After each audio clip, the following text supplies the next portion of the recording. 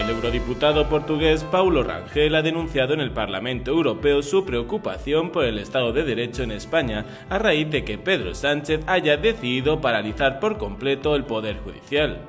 El político además ha querido dejar claro que está muy bien que se hable de Hungría o Polonia, pero que no olvidemos que Pedro Sánchez ha eliminado el delito de sedición, ha minimizado el de malversación, ha indultado a políticos condenados por el Tribunal Supremo y una larga lista de golpes a la democracia que ha dado el presidente español.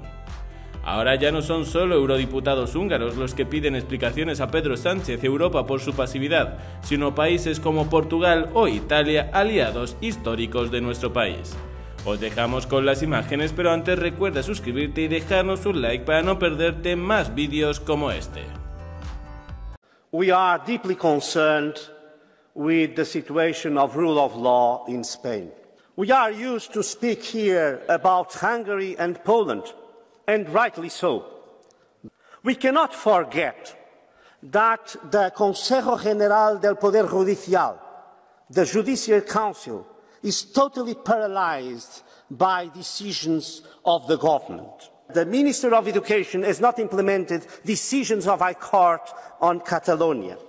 That there are pardons and amnesties for people that were condemned by the High Court and that the crime of sedition was totally changed and al malversación also.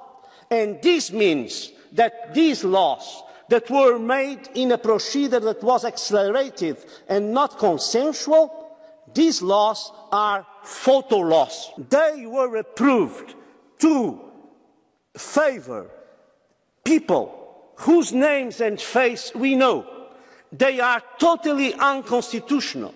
And by the way, about the Constitutional Court, Mr. Commissioner, please don't forget that a minister and someone that was very close to the government, they were nominated to be judges of the Constitutional Court.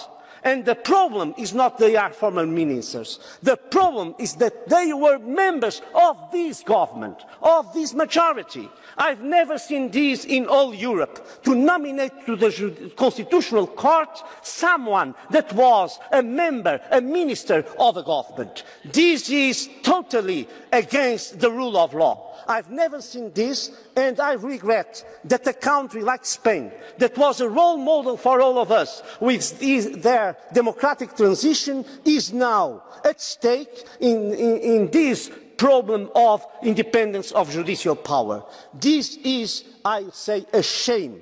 A shame for us because we were used to admire the democratic model of Spain and their respect for the rule of law.